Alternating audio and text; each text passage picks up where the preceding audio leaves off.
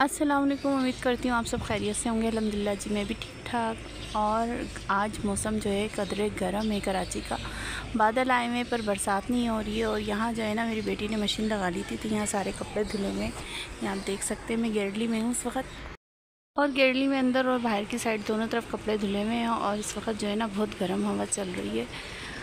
तो जी, आप लोग कौन कहाँ कहाँ से मुझे देख रहे हैं, आप ज़रूर बताइएगा कमेंट में। और मेरे चैनल पर अगर आप लोग नए हैं तो प्लीज़ मेरे चैनल को सब्सक्राइब कीजिए, लाइक कीजिए, कमेंट कीजिए और शेयर कीजिए।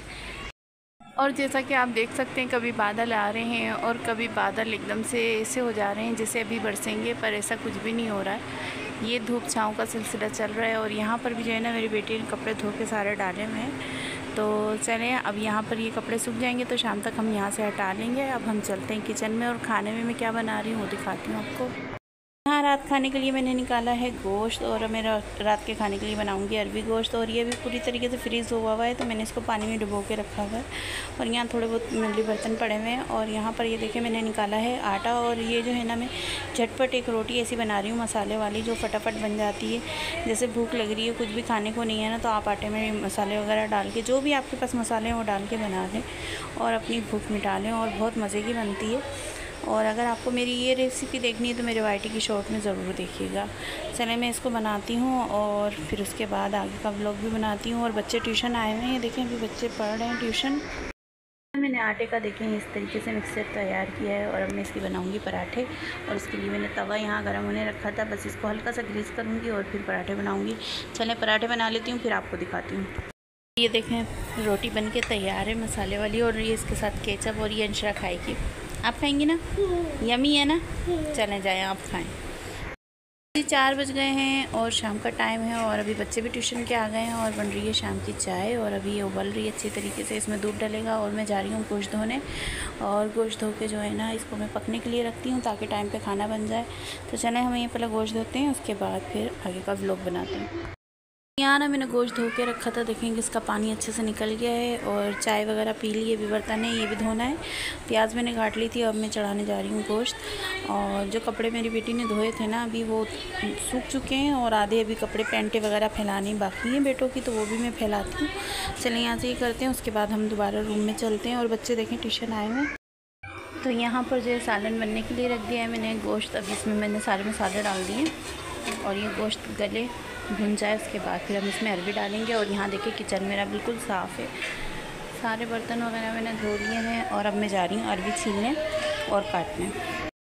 अरबी मैंने काट के, छील के काट के धो लिए और नमक वाले पानी में इसको अच्छी तरीके से करके ना साफ़ कर लिया है और यहाँ पर ये इसमें डालने के लिए, ये गाजर तो मैंने अंशा को काट के दिए इसमें से और ये जो है हरा धनिया, नींबू, हरी मिर्ची इसी में जाएँगे। तो चलें गोश गले और हम चलते हैं गेरली में। और यहाँ ना मेरी बेटी सफ़ाई कर रही है, अभी ये देखें। वो सारा झाड़ू वाड़ू लगा रही है और ये हमारा दरवाज़ा फिर से लॉक हो गया। हवा चल रही है तो बार बार दरवाज़ा ही बंद हो जा रहा है। यहाँ मैं आई थी पेंटे फैलाने, लेकिन यहाँ मेरी बेटी ने पेंटे फैला दी हैं, देखे हैं, और बाकी कपड़े सूख चुके हैं। हम आगे नहीं जाएँगे क्योंकि सारा पानी पानी हो रहा है। अच्छा जी, मैं यहाँ पर ना गेरली के अंदर अपने आलू प्याज रखती हूँ, क्योंकि किचन के अंदर हवा तो लगती नहीं है। तो ये चीज़ें ना ख़राब हो जाती हैं, इस वजह से मैं गेरली में रखती हूँ। तो चलें, हम चलते अपने रूम में वापस। यहाँ मैं कुछ देर के लिए आई हूँ अपनी बेटी के रूम में और यहाँ पर जो है ना अभी अहमर सो रहे हैं झूले के अंदर और अनशा बैठी हुई गाजरें खा रही हैं और अपना जो पुराना इनका कोर्स था ना उसकी बुक निकाली हुई है तो उसके साथ ही अपना खेल भी रही हैं और यहाँ पर मैं आपको एक चीज़ दिखाऊँ, अहमद रज़ा के लिए हमने गाय मंगाई है। ये देखें। बकरा तो गुजर गई है, लेकिन बकरा गुजर जाने के बाद भी बच्चों के दिमाग से जो है ना गाय नहीं निकली। अब अहमद रज़ा का भी कुछ ऐसे ही था कि वो थोड़ी थोड़ी देर में बोलता था, मम्मा, गाय गाय गाय। इनके नाना अबू इतना खुश हुए, उन्होंने बोला कि हाँ ये तो गाय का बहुत शौकीन है, उन्होंने किसी को पैसे दिए कि जाओ मेरे नवासे के लिए जो है ना एक गाय लेकर आ जाओ। तो वो जो है ना ये गाय लेकर आए। अब घर में जब ये आई है ना, यकीन करें, सब इतना मज़ाक उड़ा रहे हैं कोई कह रहा है ये गाय है, कोई कह रहा है ये जर्राफ है, कोई कह रहा है ये बारह सिंगा है, कोई कह रहा है ये मारखोर है। कुछ समझ में नहीं आ रहा ये देखें। आप इसका सेहत देखें और ये देखें। लेकिन हमारा बच्चा इतना खुश हो गया ना इसको देख के कि मैं बता नहीं सकती। उसने फ़ौरन से रस्सी निकाली और उसके कान में बनवा दी कि बताओ उसके ऊपर बैठ के खूब कूदे मार रहा है, उछल रहा है। पर बच्चों की तो खुशी है ना, वो तो इतना खुश हो रहा है कि बस उसके लिए तो समझो बहुत बड़ी नेमत मिल गई उसके और इनके नाना अबू भी खुश हो रहे हैं बहुत ज़्यादा।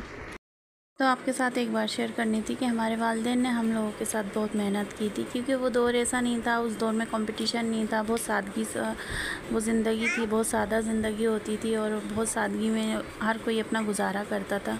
छोटे से जब हम हम बड़े हो गए तो हमने अपने औलादों के लिए कोशिश की कि उनको हर चीज़ मैसर करें। जो हम लोगों को नहीं मिला वो हमारी औलाद को मिले, लेकिन फिर अब जो हमारी औलादों के लिए सामने पूरा मुस्तबिल पड़ा है ना, ये बहुत टफ़ टाइम है। मतलब हम लोगों ने तो कर लिया, लेकिन हमारे बच्चों के लिए हर चीज़ इतनी महँगी हो गई है एक्सपेंसिव हो गई है कि एक बच्चे के लिए एक चीज़ ख़रीदना या उसकी सोच के मुताबिक वो चीज़ उसको दिलाना बहुत मुश्किल हो गया है। बस अल्लाह पाक सबके लिए आसानियाँ करे और सबके लिए जो है ना, बस रिस्क के रोज़ियों के दरवाज़े खोल दे अल्लाह पाक। यहाँ जो है ना, सालन मेरा तैयार हो गया और देखें मगरिब की अजानें भी हो रही हैं। तो चलें कि अजानें हो जाएँ और साथ में हम काम करते हैं, रोटी भी बनाते हैं और थोड़े चावल। तो यहाँ हमने खाना वगैरह खा लिया था और देखें रात का टाइम गर्मी इस कदर है। अहमद रज़ा जो है ना, मेरे पास ही है, अपने रूम में ही नहीं जा रहे। इनको बस मेरे पास लेटना है और ये देखें मेरे पास से जा ही नहीं रहे। कह रही कि जाओ, अपने रूम में तो वो नहीं जा रहे। आप अपने रूम में जाओगे अहमद रज़ा? अहमद रज़ा को गर्मी लग रही है, मेरे पास बैठे हुए हैं। तो जी, आपको मेरा ब्लॉग कैसा लगा? अगर अच्छा लगा तो लाइक करें कमेंट करें शेयर करें। अपनी दुआओं में याद रखिएगा। मेरे वालदेन के लिए एक बार दूसरी ज़रूर पढ़िएगा, सल्लल्लाहु अलैहि वसल्लम। ओके जी, फिर मिलते हैं नेक्स्ट ब्लॉग में। अल्लाह हाफिज़।